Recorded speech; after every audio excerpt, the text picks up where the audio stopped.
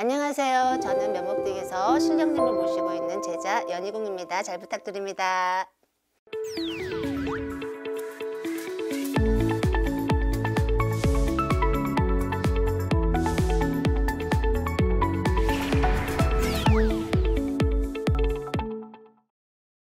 이번에도 사주를 또 드릴게요. 응, 사주를 드리고 응, 짝 사주 준다 그래. 응. 1992년 양력으로는 7월 8일, 음력으로는 6월 9일. 이 사람은 운동선수야. 뭔 말이 필요해? 운동선수인데. 어떻게 알았어요? 아니, 그러니까 사주 쓰는데 그래요. 쓰는데, 응, 운동하는구나. 혈기 왕성해요? 그럼요. 혈기 완성하고 이 사람 성격 성격도 있잖아. 이게 이제 운동 선수라고 하면 되게 막 강하고 이렇게 보이잖아. 아 그렇지 않단 말이에요. 되게 조심하고 조신 조신하고 사탈스럽고. 6월 6월 9일 음력 제가 지금 음력으로 봤는데요. 6월 9일에서 아 이거는 음, 축구 선수다. 축구 선수. 어 맞아 틀려. 맞아요. 아, 깜짝이야. 깜짝이야. 축구 선수다. 예, 이분은 이제 대한민국의 네. 국가대표 선생님 말씀대로 축구. 네네네네네. 응응응 응. 손흥민 선수. 손흥민. 손흥민. 손흥민. 음. 이분이 지금 어쨌든 이 외국에서 지금 축구 생활을 하고 있어요. 선생님 음. 봤을 때 이 손흥민이라는 선수는 언제가 가장 전성기로 보이시는지. 전성기요? 음, 22 지금 이제 20 29살이잖아. 지금도 전성기예요, 이 사람.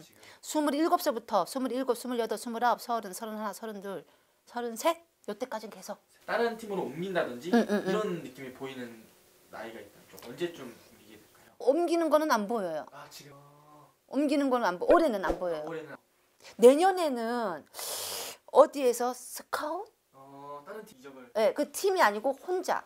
아 혼자 혼자 가는 거죠, 맞아요. 그걸로 내년에는 좀 보이는데 올해는 보이지가 않아요. 올해는 이 사람 움직일 필요성도 못 느끼고 그런 생각이 없어요. 근데 내년에는 조금 상황은 조금 반전이 될 수 있다. 움직임이 있을 수가 있다.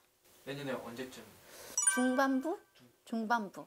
내공이 쌓여가지고 그렇게 힘들지는 않을 거예요. 어. 근데 더 좋은 도약의 기회? 그러면 결혼은 좀 언제쯤? 손흥민 선수가 결혼은 결혼도 이 사람 사실 지금도 결혼 생각은 하고 있는 것 같아요. 응? 생각은 하고 있는데 아직 아직은 차일피를 미루는 건데 2, 3년 안에는 결혼하지 않을까 싶어요. 이 사람 사귄 사람은 없나요? 지금은 뭐 헤어졌나요? 가수랑? 가수랑 네, 가수랑 음. 살- 살았었는데 예, 예. 네. 그러니까 이 사람이 그런 그런 스타일을 좋아하기는 해. 스타일 좋아하는데 내가 봤을 때는 이분은 배우자는 가수가 아닐 것 같아요. 배우에 가깝지 않나. 좀 그리고 이름이 나지 않는 신인 배우라고 해야 되나요? 이름이 그렇게 나지 않는. 응. 신인 배우? 만약에 2, 3년 후에 응, 응. 배우랑 결혼을 해서 응. 이 영상이 갑자기 혼자 대박 나는 거지. 그럼 2, 3년 후에 영상을 보고 있을 손님한테 아니 사람들한테 응. 내가 맞췄다. 손흥민이 지금 2020년인데 2023년, 2, 3년 후에는 결혼을 한다라고 생각을 하고 있, 있단 말이지. 손흥민 씨 2, 3년 후에 결혼하면은 연인입니다. 보장드리겠습니다.